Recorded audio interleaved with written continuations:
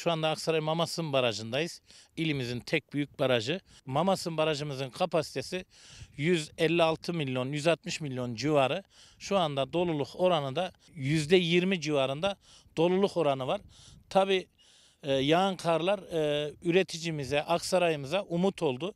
İnşallah yüksek kesimlerde bundan sonra eriyecek karlar barajımızı istediğimiz seviyeye getirecek. Bununla da e, tarımsal sulama olsun, içme suyu olsun.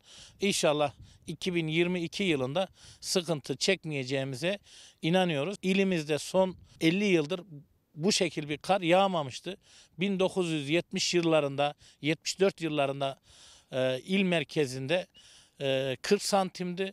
E, bu senede 45 santim civarında il merkezinde ovada ama yüksek kesimlerde de 1 metreye yakın karımız var. Bu karlarda inşallah e, eridikçe yeraltı suyumuz olsun, barajlarımız olsun.